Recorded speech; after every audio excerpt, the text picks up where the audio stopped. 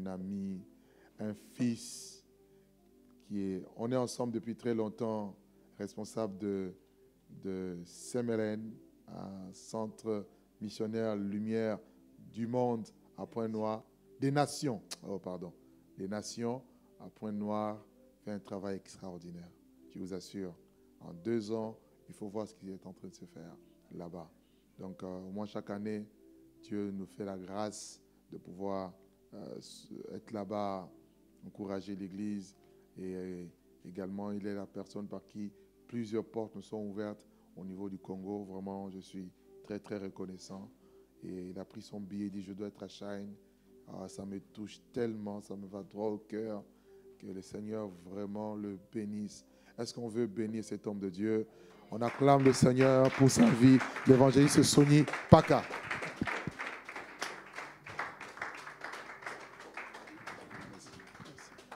Gloire à Dieu. Est-ce qu'on peut incliner juste nos têtes? Nous allons prier pour quelques secondes. Disons à Dieu, Seigneur, parle-nous ce soir, ce matin. Élevons nos voix et parlons au Seigneur. Nous nous soumettons à toi, Seigneur, et nous prions que ta parole, Seigneur, faire retentir en nous ta parole, Seigneur notre Dieu, ce matin. Nous prions que Dieu d'Israël, à travers tes écritures, sonde nos cœurs et éclaire nos vies, Seigneur.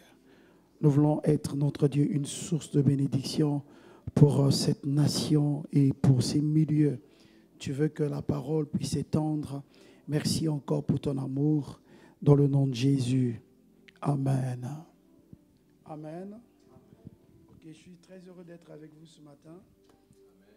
Amen.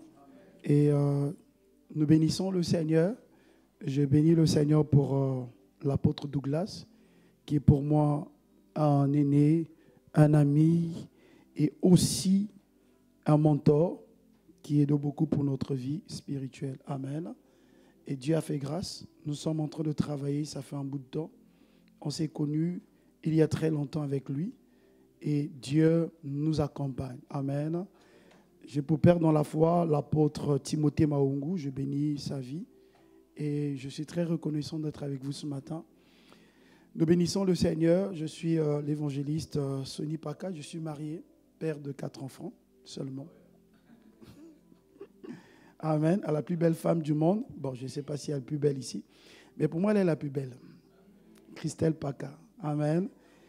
Et ce matin, nous allons aborder, c'est un atelier, d'où, quand on parle d'atelier, je vais exposer certaines vérités, certains points et après, nous allons participer ensemble. Alléluia. C'est un moment d'échange, c'est un moment de partage. Ce n'est pas un moment de prédication ni un moment d'enseignement. Je donnerai quelques points de vérité et ensemble, nous allons tirer certains points. Amen. Est-ce que quelqu'un me saisit? Gloire à Dieu. Nous allons prendre pour référence, nous voulons parler sur comment évangéliser dans un milieu hostile. Comment évangéliser dans un milieu hostile? Comment évangéliser dans un milieu hostile. Alléluia. Nous voulons aborder pendant ce temps-ci comment évangéliser dans un milieu hostile. Et quand on parle de comment, en fait, il y a déjà une action qui a été faite en avant. Et donc, euh, si l'action qui a été faite en avant, c'est évangéliser. Évangéliser, c'est annoncer la bonne nouvelle du royaume de Dieu. Le mot évangéliser vient du mot évangile. Amen. Alléluia. Vous me suivez? Et quand on parle de évangéliser, on peut couper évangéliser en deux. Nous avons évangile, ce qui veut dire la bonne nouvelle, annoncer la bonne nouvelle du royaume. Évangéliser, c'est maintenant l'évangélisation, c'est l'action d'annoncer la bonne nouvelle. La bonne nouvelle qui est annoncée, ce n'est pas euh, tous les jours dans notre vie, nous écoutons des bonnes nouvelles. Quelqu'un, une nouvelle personne, vient, une femme vient de mettre au monde et on vient vous annoncer c'est une bonne nouvelle. Vrai ou faux? Et si aussi vous avez la possibilité d'avoir euh, du boulot, on vous appelle, on vous dit que vous avez été retenu dans une entreprise, c'est une bonne nouvelle. Si aussi vous étiez en train d'attendre des papiers, de documents administratifs, et maintenant on vous appelle pour vous dire vos documents sont sortis, c'est une bonne nouvelle. OK? C'est des bonnes nouvelles, mais nous voulons parler de la bonne nouvelle du royaume de Dieu. Alléluia. Évangéliser, c'est annoncer la bonne nouvelle du royaume de Dieu. Est-ce quelqu'un d'avis avec moi? Est-ce quelqu'un me suit? Évangéliser, ce n'est pas de parler de son église. Évangéliser, ce n'est pas de parler de son pasteur. Évangéliser, ce n'est pas parler que nous avons une belle église, nous avons une belle salle, et chez nous, Dieu chasse les démons. C'est pas ça. Ça, c'est la publicité de l'église ecclésiastique. Évangéliser, c'est de parler de ce que Christ a fait sur nous. La bonne nouvelle que nous attendons, c'est que Christ est mort pour nos péchés et nous a ressuscités. Alléluia. Nous qui avons autrefois été morts par nos offenses, par nos péchés, Jésus est venu et comme on parle de quatre vérités bibliques, c'est que l'homme est pécheur, Dieu aime le monde, l'homme est pécheur, la solution de l'homme, c'est de la repentance. En donnant sa vie à Jésus, nous sommes sauvés. Est-ce que quelqu'un me comprend? Je pose des bases du côté de l'évangélisation. Alors, le milieu hostile, quand on parle d'un milieu hostile, c'est un milieu où il y a des ennemis. C'est un milieu dangereux. C'est un milieu qui est caractérisé par des guerres. C'est un milieu qui est caractérisé par la jalousie. C'est un milieu qui est très dangereux.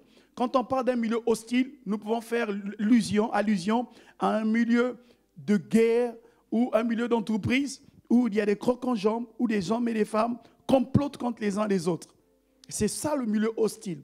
Vraiment, c'est un milieu où vous savez vous-même, vous avez des ennemis que vous connaissez, il y a d'autres, vous ne les connaissez pas. OK? Dans la marche chrétienne, nous avons des ennemis. L'ennemi que nous connaissons tous là où nous sommes, il s'appelle Satan. La Bible dit, nous ne combattons pas contre la chair et le sang, contre les dominations, contre les principautés, contre les esprits méchants dans le lieu céleste. Donc nous connaissons notre ennemi. Notre ennemi, on le connaît déjà dans le monde d'esprit, il s'appelle Satan. Satan. Il a été déjà vaincu. Est-ce que c'est clair pour tout le monde? Étant donné que l'homme a trois, niveaux d'existence, l'homme, l'homme est divisé en trois parties. Nous parlons de l'âme, nous parlons de, de l'esprit et nous parlons du corps. Est-ce que quelqu'un me saisit? Alors, dans les trois niveaux, nous avons aussi des ennemis. Le diable est déjà l'ennemi dans notre esprit. Mais étant donné aussi dans notre âme, nous avons aussi des ennemis. Dans notre corps aussi, nous avons des ennemis. Des choses qui peuvent détruire notre corps. D'où nous ne devons pas oublier que nous sommes le temple de Dieu. C'est pour ça que nous devons savoir entretenir notre corps. Notre corps, ce n'est pas un panneau publicitaire. Notre corps, ce n'est pas un lieu d'exposition, d'exhibition. Est-ce que quelqu'un me comprend? Est-ce que quelqu'un peut dire à celui qui est à tes côtés, entretiens bien ton corps? Alléluia. Alors, dans tous ces trois domaines, nous avons des ennemis.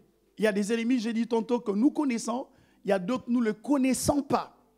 Souvent, on les ignore. Souvent, on ne les maîtrise pas. Souvent, ils sont toujours cachés. Parce que pourquoi? C'est la nature de Satan. Satan, la Bible dit, il se déguise en un ange de lumière. Parfois, si on n'a pas le discernement, on ne peut pas savoir que derrière cette personne, il y a un, un Satan, il y a un serpent. Comme, euh, comme Paul, il avait ramassé du bois, il l'a mis dans le feu. Et c'est dans le feu, il s'est rendu compte qu'il y avait une vipère. Donc il y a des ennemis cachés autour de nous. Parfois tes copains, parfois tes amis, tes collègues de classe, des gens qui parlent bien avec toi, comme on dit, derrière ton dos, qui te font du mal. C'est un milieu hostile. Dans le milieu d'entreprise, Surtout le milieu professionnel, ça se passe beaucoup. Vous avez des personnes avec lesquelles vous partagez des idées. Vous dites, moi, je pense faire ceci. Mais derrière vous, dès que vous tournez le dos, c'est les mêmes personnes qui vont parler de vous, le, mal de vous, auprès de votre chef, auprès de, votre, de votre hiérarchie. Vous dites, non, la personne a dit le contraire de ce que vous avez dit. Et c'est dans ce milieu que nous nous retrouvons par rapport à Matthieu chapitre 5, verset 11 au verset 12.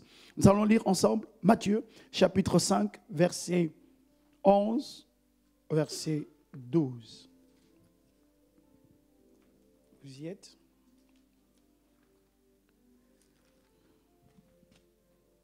Nous allons lire ensemble. Heureux serez-vous lorsqu'on vous outragera, quand on vous persécutera, qu'on dira faussement de vous toutes sortes de mal à cause de moi. Verset 12. Réjouissez-vous et soyez dans l'allégresse, parce que votre récompense sera grande dans les cieux. Car c'est ainsi qu'on a persécuté les prophètes qui ont été avant vous. Amen. La Bible dit heureux pour nous parce que nous serons outragés. C'est un milieu hostile. nous serons persécutés. La persécution, c'est l'une des promesses de bénédiction que Dieu nous a données. Alléluia. Je sais que beaucoup de chrétiens n'aiment pas entendre parler de ça. Mais en fait, c'est dans la persécution que Dieu aiguise notre appel. C'est dans la persécution que Dieu façonne notre image. C'est dans la persécution que Dieu nous équipe. Dieu n'équipe pas les gens dans l'abondance, il les équipe dans le désert. Par rapport à l'appel et le mandat qu'ils doivent accomplir. Dieu appelle le peuple d'Israël en Égypte, il les amène dans le désert pour leur corriger. Et c'est par là qu'il fait le tri. C'est dans la persécution que Dieu fait le tri. En réalité, nous sommes comme des élèves. Nous venons pour apprendre et Dieu nous évalue à travers la persécution. Donc la persécution permet de changer de niveau. C'est comme à l'école. Le Seigneur, il vient, il parle, il parle, il parle, il parle. Et après, c'est pendant qu'il y aura des épreuves, des outrages, il va maintenant, c'est comme le test que tu es en train de passer. Il veut évaluer le niveau de ta foi pour te enlever d'un niveau B, pour te placer à un niveau C. Tu ne peux pas changer de niveau de foi avec Dieu si tu ne passes pas par la persécution. Or, la Bible dit que sans la persécution, tous ceux qui veulent vivre pieusement en Christ seront persécutés. Donc, c'est une promesse et une bénédiction. Quand tu n'as plus de persécution dans ta vie, ça veut dire que tu as fait le trêve avec le diable. Hmm. Alléluia. Si vous dormez, vous n'avez pas d'attaque, vous n'avez pas ceci, vous n'avez pas de problème. J'ai vite compris que vous dormez avec le diable tous les jours, vous partagez, partagez parlez, avec des démons. Mais ce qui justifie ta présence en Dieu, ce n'est pas parce que Dieu te protège, mais parfois Dieu t'expose pour connaître à qui, auprès de qui tu crieras quand il y a un problème. C'est pour ça que la Bible dit dans leur détresse, ils n'ont pas crié à autre chose. Ils ont invoqué l'Éternel. Et Dieu a envoyé quoi? Sa parole. Et sa parole les guérit. Alléluia. Donc, c'est ça le milieu hostile. Donc, ça veut dire qu'en réalité, on n'a pas un milieu dédié hostile. Partout, c'est hostile. Même à l'église, c'est un milieu hostile. Même dans l'église, même dans le jardin d'Éden, il y avait déjà un milieu hostile. Où on peut voir euh, deux personnes qui viennent offrir l'offrande à Dieu et on se retrouve que Caïn commence déjà à tuer son frère, à avoir des pensées bizarres, et même dans l'église. Ça peut arriver. Donc, dans un milieu hostile, comment pouvons-nous annoncer la bonne nouvelle du royaume? C'est ça la plus grande question. Et on pourra prendre l'histoire d'un homme, l'histoire de Daniel. Ce, matin, j'aimerais partager rapidement sur deux exemples. Pour prendre deux exemples des personnes qui ont été euh, déportées dans un milieu très hostile et comment ils ont réussi à leur mission. Alléluia. Et après, on fera un partage. Donc, en quelque sorte, nous prenons Daniel. Daniel a quitté un milieu qu'on appelle Babylone, ah, Jérusalem. Ils étaient pris en captivité en Babylone. Et Jérusalem, c'est la capitale que nous connaissons, où il y a la présence de Dieu. Dieu régnait, Dieu appelait tout le peuple d'Israël pour dire J'aurai avec vous une rencontre par année à Jérusalem. Donc, peu importe là où ils étaient, ils devaient quitter les pays et venir à Jérusalem pour célébrer Dieu. Donc, c'était la ville où il y avait Dieu. Mais Dieu va prendre Daniel, ils seront persécutés et ils vont les amener en déportation en Babylone, en milieu comme aujourd'hui. Babylone la grande. C'est comme la France. Pour certains, quitté l'Afrique pour venir en France. Et souvent, on dit que la France est le tombeau de la foi. Certains, avant, en Afrique, ils étaient en train de prier. En Asie, ils priaient dans d'autres lieux. Mais quand ils sont arrivés en France, ils se comportent comme des Français et des Françaises, ils ont abandonné la foi. Alléluia. Mais nous savons une chose, que nous sommes de passage sur la terre. La Bible dit que euh, si nous disons que nous sommes de ce monde, non, nous ne sommes pas de ce monde. Nous sommes dans ce monde, mais nous ne sommes pas de ce monde car nous sommes des pèlerins. Et c'est clair pour tout le monde. Donc la première des choses, c'est de connaître ton identité. Dans un milieu hostile, il faut garder ton identité. Daniel est arrivé à Babylone, il n'a pas perdu son identité. Lorsque tout le monde est en train de se souiller par les mains du roi, Daniel a respecté son identité. Premièrement, c'est qu'il s'est mis à marcher dans la sanctification. Est-ce que quelqu'un me saisit? Pour évangéliser dans un milieu difficile, hostile, où il y a des, des crocs en jambes, où les gens sont jaloux, où les gens parlent du mal de toi, où on te persécute, où on se moque de toi, où on dit que tu n'as plus de valeur, tu es démodé. Dans notre époque aujourd'hui, pour être à la mode, il faut s'habiller taille basse, il faut être dos nu, il faut marcher en mode DVD, il faut s'habiller en mode DVD. Vous savez, DVD veut quoi? Dos, ventre, dehors. Et il y a d'autres encore, on peut dire, il faut être vraiment dans notre siècle. On est avec le 4G, bientôt 5G. Il faut s'habiller d'une manière VCD, ventre, cuisse dehors. Mais dans ce milieu hostile, comment je vais faire? Est-ce que je dois m'adapter à cela ou je dois garder mon identité? La première des choses, c'est que je dois garder mon identité. Car la Bible dit, les mauvaises compagnies corrompent les bonnes mœurs. Alléluia. C'est la meilleure des choses, de savoir qui suis-je. Si je sais que je suis un enfant de Dieu, et pas seulement un enfant de Dieu, Dieu nous a changé de niveau. Il nous a pris d'un enfant, il nous a parlé de fils. À part fils, il nous a envoyés comme ambassadeurs. Et aujourd'hui, j'aimerais parler aux ambassadeurs de Christ sur la terre. Dans 2 Corinthiens chapitre 5, verset 17 au verset 21, la Bible dit que si quelqu'un est en Christ, il devient une nouvelle créature. Les choses anciennes sont passées. Voici toutes choses sont devenues nouvelles. Dieu, tout cela vient de Dieu qui nous a donné un ministère qu'on appelle diaconos, un service. Tout cela vient de Dieu qui nous a, donné le ministère de la réconciliation. Donc, en quelque sorte, nous faisons fonction d'ambassadeur. C'est comme si Dieu exhortait par. Mhm. Donc, ça veut dire que Dieu parle à travers toi. Et si Dieu dit, moi je suis saint, ce que j'appelle doivent être saints, nous aussi nous devons demeurer dans la sanctification. Ton identité t'appellera ta nature. Ta nature, c'est d'être saint. Et dans un milieu hostile, ce qui peut te justifier, ce qui peut te sauver, c'est d'être saint. Joseph s'est retrouvé dans un milieu hostile, j'étais rejeté par ses parents, mais ce qu'il a sauvé et l'élevé à la dernière minute, c'est qu'il était innocent et saint. Devant la femme de Potiphar, tu n'es pas obligé de baisser, de baisser ton pantalon, de baisser ta jupe, de baisser tes, gardes, ta garde. Non, demeure ferme et sain. C'est la première des choses pour évangéliser dans un milieu hostile. Parce que tu ne sais pas par lequel le diable, quel élément il peut utiliser pour te détruire. Le diable est comme un policier autour de nous. Il contrôle. Déjà, si moi j'ai des gardes qu'on appelle les anges, et j'ai encore un deuxième garde, il s'appelle Satan. J'ai des anges qui nous gardent, mais j'ai aussi Satan. Pourquoi? La Bible dit qu'il rôde autour de moi. Chaque matin, il est là, il fait, il fait ses marches. Ben, donc il me garde aussi. Mais si j'ouvre une porte, il va me tuer. Donc c'est là il faut faire attention, il faut veiller. La deuxième des choses, c'est de mener une vie exemplaire. David, Daniel en Égypte, en, Babylone, malgré tout, il était exemplaire. Même si on l'a trahi, on l'a parlé de mal de lui par les satrapes, par des gens qui sont à l'accuser devant le roi, il est resté exemplaire. C'est pour ça dans Pierre, la Bible dit, euh, dans Pierre, il est écrit, si vous avez des maris qui ne prient pas, si des femmes ont des maris qui ne prient pas, mais à travers leur comportement, ils peuvent gagner leur mari. Alléluia. On peut gagner, tu peux gagner une personne qui est dans, de l'autre côté à travers ta vie. C'est pour cela notre comportement, notre conduite compte aussi dans la marche chrétienne. Est-ce que quelqu'un me saisit? Alléluia. Est-ce que quelqu'un me comprend?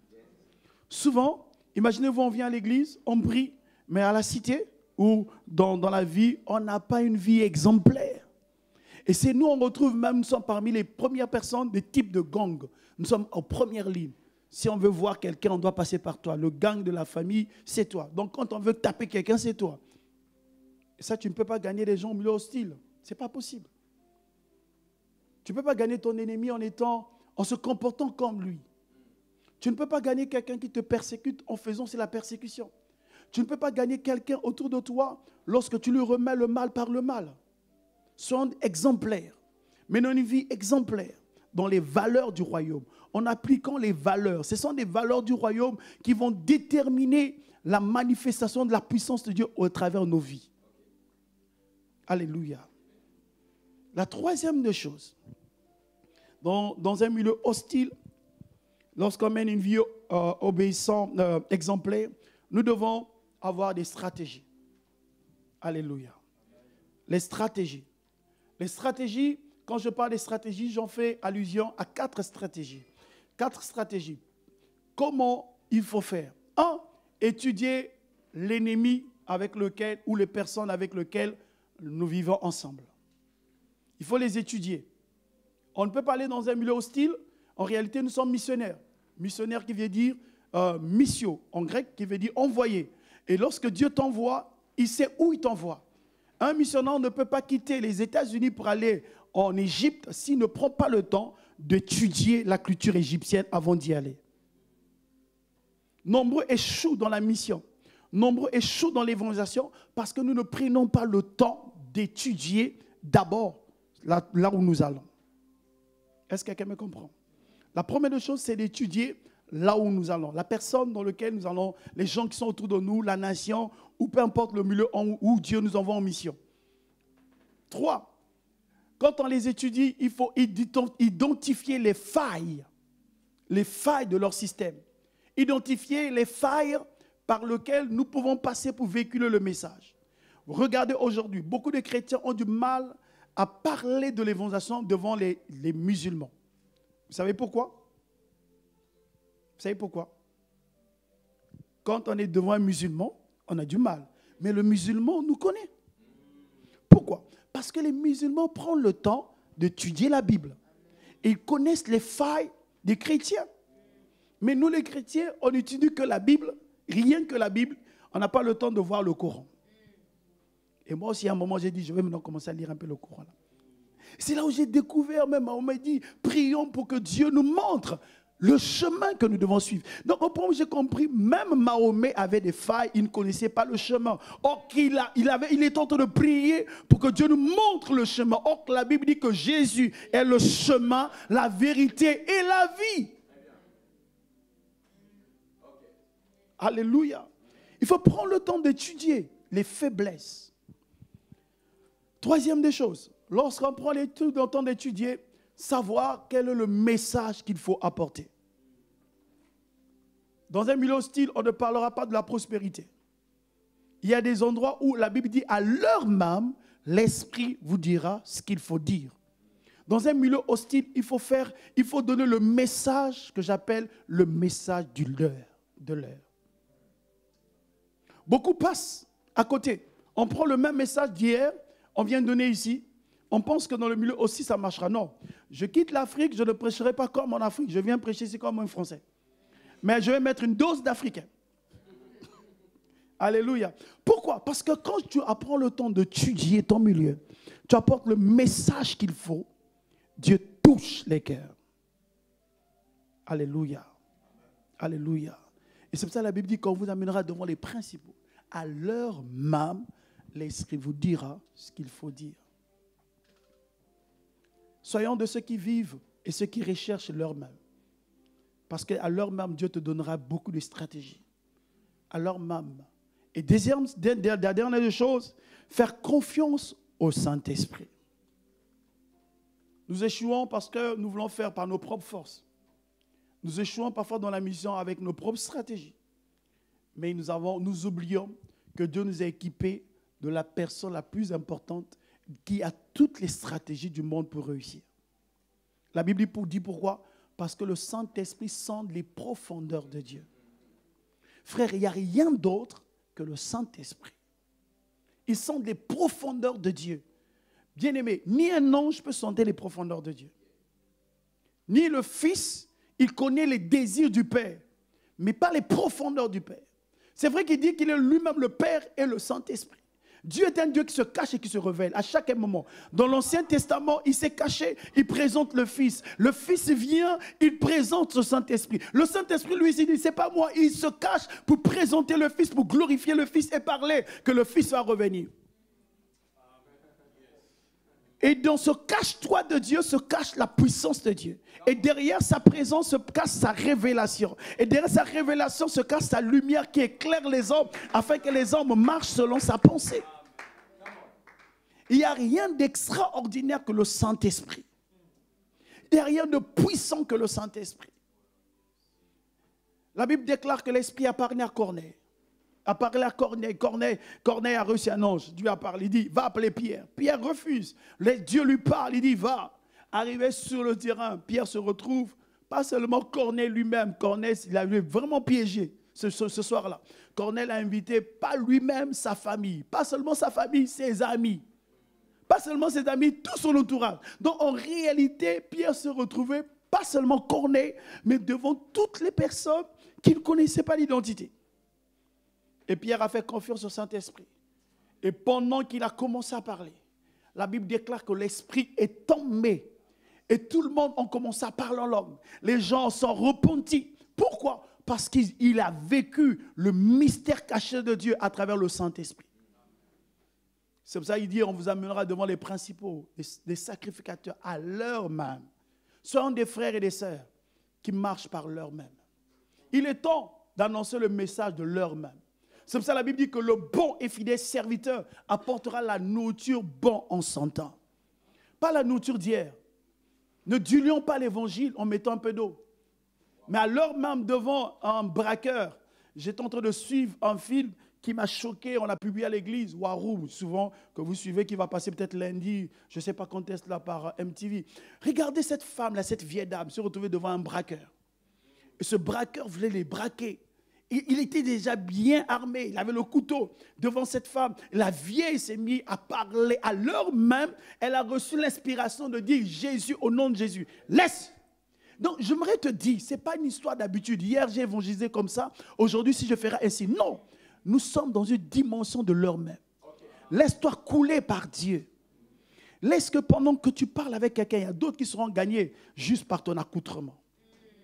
Il y a d'autres qui seront gagnés juste par, ton, par ta manière de parler. Il y a d'autres qui seront gagnés juste parce que tu as donné de l'argent, parce que tu as fait de bien. Il y a d'autres qui seront gagnés parce que juste quand on te voit, tu es tellement sérieux. Il y a d'autres qui seront gagnés sans parole. Jésus a dit, s'ils n'ont pas pu croire à la parole, même par le miracle. Ça veut dire, si la parole met à côté, notre attitude peut évangéliser. Ton accoutrement peut évangéliser. Ta manière de te coiffer aussi peut évangéliser. Il y a d'autres ils oublient ce qu'ils sont. Alors laissons-nous baigner dans le Saint-Esprit. Le secret pourquoi Jésus dit il est avantageux. Regardez, si Jésus pose les mots, il dit il est avantageux pour moi de m'en aller. Mon gars, si lui dit il est avantageux, à plus forte raison toi et moi. Il dit il est avantageux. Je vous enverrai le Saint-Esprit. Alors si on se met à mettre l'esprit à côté, on passe à côté. On va échouer dans le milieu hostile. À l'école, il y a des copines, même si tu leur parles de la Bible, ils ne comprendront jamais. Mais il y aura un moment, par ton accoutrement, tu peux leur évangéliser. Il y a d'autres, il faut leur parler de la parole. Il y a d'autres, par notre attitude. Il y a d'autres, le Saint-Esprit te dira juste de lui dire, ma soeur, euh, regarde, j'ai vu quelque chose dans ta vie, je ne prie pas pour toi, mais hier Dieu m'a dit sur toi, ton cœur est en larmes, mais regarde la solution. Le fait qu'il voit que tu as découvert des choses cachées en lui, il te dit, waouh, comment tu as fait? Non, ce n'est pas moi, c'est le Saint-Esprit. Alors recherchons le surnaturel de Dieu. L'Église doit vivre avec le surnaturel. Parce que nous sommes spirituels. Nous ne sommes pas physiques. Ce n'est pas un rassemblement physique, c'est un rassemblement spirituel. Que Dieu bénisse nos vies. Alléluia. Est-ce que quelqu'un m'a compris? Alléluia. C'est très important. Utilisez ces stratégies et vous allez évangéliser dans des milieux très hostiles. Joseph a évolué dans un milieu très hostile, c'est parce qu'il a gardé son identité. Il a su comprendre les stratégies. Dieu l'a révélé les faiblesses. Il a donné le message et il a évolué dans un milieu hostile. Ainsi que Daniel, on l'a jeté même dans la fournaise, il a accepté la croix de sa personne. Même dans la fournaise, Dieu l'a sauvé. Et la Bible dit, quand Nebuchadnezzar disait, il dit, je vois une quatrième personne. Il dit, sortez-les. Et ils sortent. Rien n'est brûlé. Il dit maintenant, à partir d'aujourd'hui, nous allons prier le Dieu de Daniel, Meshach, Sadrach. Bien-aimé, comment les gens peuvent commencer à prier ton Dieu si tu n'acceptes pas de mourir pour Christ? Ils prieront par ton Dieu. Que Dieu bénisse nos vies. Alors je vais passer dans une petite série de questions. Est-ce que quelqu'un m'a compris? Alors, si vous avez des questions sur mon atelier, maintenant je vous donne la parole. Euh, si vous avez une question, peut-être euh, vous, avez pas, vous avez compris ou vous avez une préoccupation autour de évangéliser, nous avons encore peut-être 20 minutes rapidement, on va apporter les solutions. Vous pouvez lever votre main et puis on va vous donner le micro. Personne Ah, ok. Si vous y a personne, moi je vais vous poser les questions. Amen. Oui, évangéliste. euh, vous parlez de stratégie. En deuxième point, c'était comprendre les stratégies, c'est ça C'était, si j'ai bien noté. Quand vous parlez de stratégie, euh, c'est-à-dire que pour chaque personne qu'on voudrait toucher, par exemple, euh, le Seigneur me met à cœur de parler à quatre personnes. Au travail. Et euh, pour chaque personne, je vais m'asseoir, je vais prier et je vais peut-être écrire et définir avec le Seigneur comment, comment établir, définir ces stratégies, s'il vous plaît. Ok. Tu as quatre personnes dans lesquelles vous travaillez tous les jours. Donc tu es dans un milieu hostile, tu veux les évangéliser, leur parler de Dieu. La première des choses de faire, c'est de prier que Dieu te révèle leurs états d'âme. Ils sont déjà païens, mais au-dedans d'eux, il y a toujours quelque chose, des clés sur lesquelles Dieu te donnera pour ouvrir leur vie. Parce qu'une personne, toute personne sur la terre, c'est une porte qui est fermée et dont Dieu détient les clés. Et les clés, ce sont des faiblesses par lesquelles Dieu te donne pour ouvrir sa vie et d'entrer. Et la porte par laquelle Dieu t'ouvre, il te fait montrer sa vie. C'est pour ça que tu dois prendre le temps, euh, avant de leur parler même de Dieu. Commence d'abord par toi-même, ton comportement. C'est ça, les premières stratégies, ta vie. Il ne faut pas que tu arrives, tu parles aux gens, ils te disent, même toi-même, qu'est-ce que tu fais? Tu fais comme nous. C'est pas possible. On s'est retrouvé, euh, il y a un ami qui se mettait à prêcher, il s'est mis à prêcher, prêcher. Après un moment, il a fini de prêcher. Il dit, venez abandonner les, boîtes de nuit. Il dit, oh, bon gars, laisse tomber. Hier, on était avec ton boîte de nuit. Tu vois? Et c'est pas possible. Donc l'évangile devient inefficace. Donc pour ces quatre personnes, tu prends le temps de prier. Et si les quatre personnes, tu veux les rassembler en même moment, Dieu te créera des opportunités. Mais prends le temps de prier pour que Dieu mette en- dans ton cœur une parole qui est adéquate à ces personnes. Mais la parole la plus simple que tous nous pouvons utiliser, c'est Jean chapitre 3, verset 16. Toujours dire aux gens, Dieu les aime. Amen. OK? Maintenant, pendant la marche, euh, est-ce qu'on peut nous afficher Jean chapitre 3, verset 16 La Bible dit Car Dieu a tant aimé le monde qu'il a donné son Fils unique afin que quiconque croit en lui ne périsse point. Donc, à travers cela, Dieu aussi te donnera d'autres stratégies leur parler de l'évangile. Amen. Est-ce que j'ai répondu à ta question? Tu es satisfaite? D'accord. Une autre personne? Une autre personne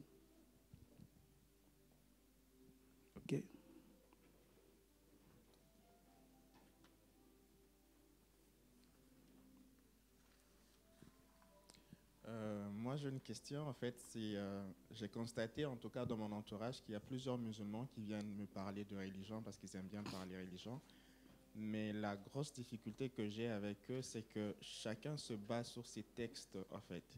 Euh, tout le monde a des textes sacrés. Moi, j'ai la Bible, ils ont le Coran. Et euh, quand on essaye de, de parler sur ça, ben, tout le monde se braque sur son propre texte. Alors c'est vrai, j'ai fini par conclure que quand on parle à quelqu'un qui est d'une autre religion, euh, une des clés, c'est vraiment euh, euh, opérer dans le surnaturel avec les dons spirituels pour voir, pour que Dieu te révèle certaines choses. Mm. Mais lorsque tu n'as rien, que tu ne reçois rien, il n'y a aucune révélation que Dieu te donne sur la vie de la personne. Démontrer que Jésus est Dieu, euh, expliquer le pourquoi du comment, comment est-ce que Dieu peut avoir un fils, comment est-ce qu'il peut avoir une femme et tout le reste. Toutes ces questions, en fait, reviennent souvent et euh, ça les braque, ça ne rentre pas dans leur euh, euh, pensée, dans leur intelligence et ils se disent qu'on est dans le faux et ils sont convaincus que Jésus est prophète. Et c'est difficile parfois de leur faire comprendre par A plus B que voilà, les choses sont ainsi. Et au final, la plupart de mes conversations avec certains musulmans, c'est que reste sur tes textes, je reste sur mes textes. Ok, donc chacun se reste, dans, reste dans son endroit et on trouve pas. Alors, la, la réponse, euh, la réponse, premièrement, surtout avec les musulmans, la première des choses, c'est d'opérer dans le surnaturel pour leur dire les clés, comme j'ai dit. Deuxième des choses, c'est aussi euh, plus notre vie. Eux, ils pensent d'abord ta vie. La troisième, c'est d'étudier le Coran. Il ne faut pas partir avec la Bible aussi. Pour gagner un musulman, ne pars pas avec la Bible. Va avec le Coran. Pour leur faire comprendre que Issa ce n'est pas ce que vous croyez le prophète, c'est Jésus. Parce qu'à la fin, on s'est retrouvé beaucoup de des débats jusqu'à présent, les musulmans à côté, les musulmans à côté, les chrétiens, chacun tire le rideau de son côté, après on voit rien. La dernière des choses, c'est de leur parler que Dieu existe et il t'aime tel que tu es, l'amour de Dieu. C'est la clé, mais accompagné par le Saint-Esprit. C'est possible. Et on voit aujourd'hui les musulmans quitter. J'ai vu euh, récemment, on a fait une campagne. euh, avant la campagne, il y a un musulman qui a abandonné l'islam. Il a compris. Pourquoi? Parce que souvent, on veut faire avec nos propres efforts. On se bat avec nos propres efforts, avec notre intellectuel, avec les versets que nous avons. Bien aimé, la parole de Dieu, ce n'est pas l'histoire d'intelligence. Pourquoi? Parce que la Bible dit, nous nous parlons, c'est le Saint-Esprit qui convainc du péché, du jugement et de la justice. Et donc, c'est important de se confier au Saint-Esprit. Tu verras, si tu te confies au Saint-Esprit devant un musulman, Dieu va te donner une faille, la clé de sa vie. Devant les musulmans, continue son prière, Seigneur, donne-moi la clé de cette vie. Sur place, tu peux commencer à lui dire des choses, même toi-même, tu ne te rends pas compte de ce que tu lui dis. Et à la fin, tu dis, attends, waouh, tout ce que tu m'as dit, je ne comprends pas. Toi-même, tu dis, au fond de toi, même moi-même, je ne comprends pas. Réalité, c'est le Saint-Esprit qui parle en toi. Tu te laisses baigner dans la mouvance de l'Esprit et tu verras. Il y a des, des évangélistes qui sont en train de gagner des musulmans. C'est possible, mais pas avec notre tête, pas avec nos versets bibliques. Laisse-toi conduire par le Saint-Esprit. Amen. C'est clair? Merci, que Dieu vous bénisse. Il y a une autre question?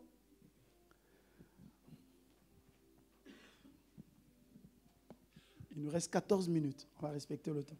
Au niveau des musulmans, il y a quand même beaucoup de musulmans qui ne connaissent pas leur texte. Et euh, ils sont beaucoup plus dans la religion, donc il y a beaucoup plus un travail surnaturel à faire pour briser les forteresses, Oui. parce qu'ils ne sont pas à l'écoute. Ils ont tellement peur d'être euh, euh, d'être reniés par la famille, parce qu'ils lâchent, euh, que finalement, est-ce qu'il n'est pas préférable de prier avec eux, de façon à ce qu'ils voient que quand on prie avec eux au nom de Jésus, il y a un résultat à la prière, alors quand ils prient tout seuls, il n'y en a pas. Moi, je vois, j'ai une amie où je suis en train de travailler comme ça. Maintenant, je ne parle plus de l'évangile, je ne parle plus de tout ça. Simplement, quand elle demande la prière, je prie au nom de Jésus. Quand elle ne vient pas chercher la prière, elle va au mur. Et je pense qu'un jour, elle va finir par se dire, sa prière marche, la mienne, elle ne marche pas. D'accord, c'est une stratégie en fait.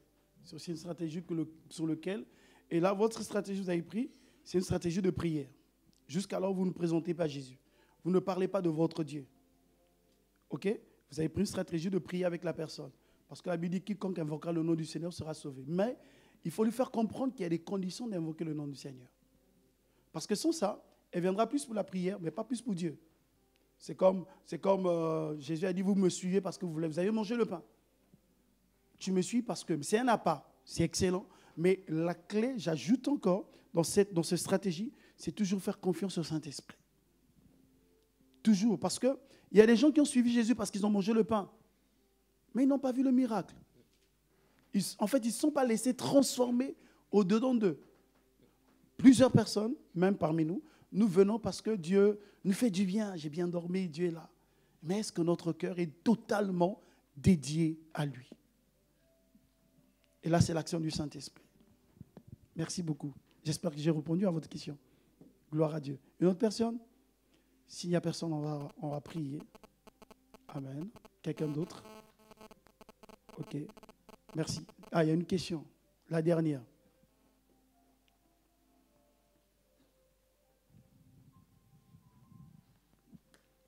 Bonjour. Bonjour. Moi, j'avais une question. En fait, comment, comment évangéliser une personne qui a déjà été chrétien? En gros, un, un rétrogradé. D'accord. Comment évangéliser une personne rétrogradée? On n'évangélise pas une personne rétrogradée. Parce qu'évangéliser, c'est annoncer la bonne nouvelle à quelqu'un qui est dans le péché. OK? Par contre, à un rétrogradé, on lui apporte le message de restauration. C'est ce qu'on appelle le réveil. On vient sonner les sonnettes d'alarme dans sa vie. C'est pour cela, euh, c'est très important pour les rétrogradés. Il faut beaucoup prier pour eux. La Bible dit Réveille-toi, toi qui dors, donc les morts, et Christ éclairera. C'est quelqu'un qui est éclairé, mais qui dort donc les morts. Regardez dans ce texte-là d'Éphésiens, Jésus ne parle pas aux païens. Paul plutôt ne parle pas aux païens. Quand il parle de réveille-toi, toi qui dors, il parle à l'Église. Il parle à ceux qui avaient déjà goûté, à ceux qui prient déjà, qui priaient déjà, qui connaissaient la loi de Dieu. C'est à eux qu'il se dit, qu'il se- qu'il s'adresse.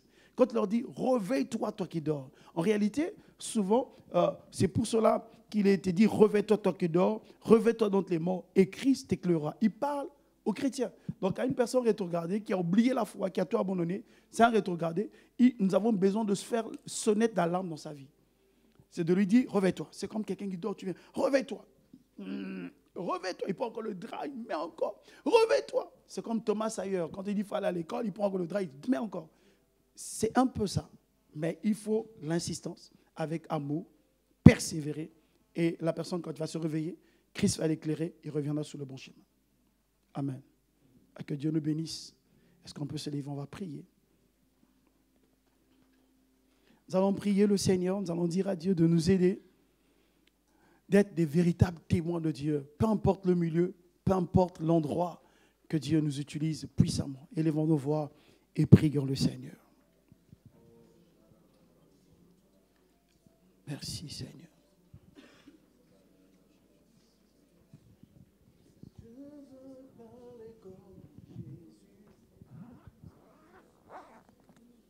Je veux parler toute ma vie. Je veux parler comme Jésus. Seigneur, nous voulons parler comme toi. Nous voulons parler comme toi. Tu es venu dans un milieu hostile, très hostile sur la terre, où les, même les proches à toi t'ont régné, t'ont abandonné, t'ont rejeté. Mais tu n'as pas abandonné, tu n'as pas abandonné la mission. Tu es allé jusqu'à la croix, Seigneur. Seigneur, sous le de notre Père, même un plus proche de toi, qui, qui était avec toi, t'a trahi. Seigneur, nous vivrons des trahisons, nous vivrons dans un monde très bizarre. Mais apprends-nous, Seigneur, à être innocents. Apprends-nous, Seigneur, à marcher selon ta parole. Apprends-nous à aimer ta parole, Seigneur. Merci parce que tu es Dieu. Nous voulons parler comme toi, nous voulons vivre comme toi. Aide-nous, Seigneur. Donne-nous l'audace qu'avait notre Dieu Joseph. Donne-nous l'audace qu'avait Daniel dans des milieux très hostiles, mais ils ont réussi à leur mission.